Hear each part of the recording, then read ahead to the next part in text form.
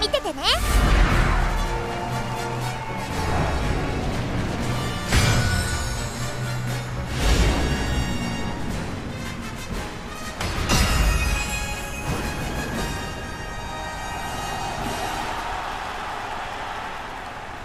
荒れた天候の中山レース場。降り続いた雨が馬場状態を悪化させ不良の発表となってしまいました。こんなに荒れているとレース展開が読みにくいですよ。現在1番人気はマルゼンスキー。実力は負けていません。2番人気岸アマゾン注目の2大スプリント覇者。カレンちゃん。4枠8番での出走。気合十分いい顔してますね。各馬娘ゲートに入って体勢整いました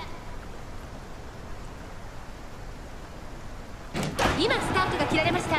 各馬娘綺麗なスタートを切りました。みんな集中してましたね。好レースが期待できそうです。先行争いはマルゼンアイネス・フージ日本のブルボン。先頭集団を見ていきましょう。さあ激しい先行争いで前に出たのはマルゼンスキー。続いてアイネス・フージ早くも激しい競り合い日本のブルボン。内から行く千葉県離れて3番カレンちゃん5番手。そしてその内から行ったのはハッピーウィークさらには。オグリキャップその後ろ岩早秀。5番並んできた外には12番そしてその外から行ったのは16番少し離れてシアマゾン第4コーナーカーブ。勝負どころ最後の直線へとかけていきます。この直線で勝負が決まるぞ。みんな大好きだよ。ほらあなたも彼に夢中になっちゃえ。銃弾が一つにまとまって温泉状態です。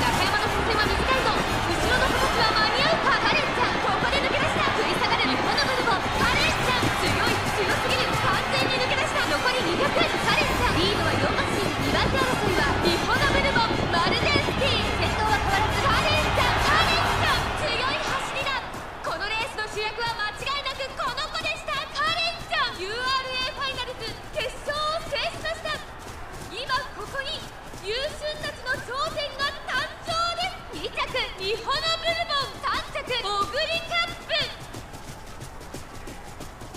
今日も彼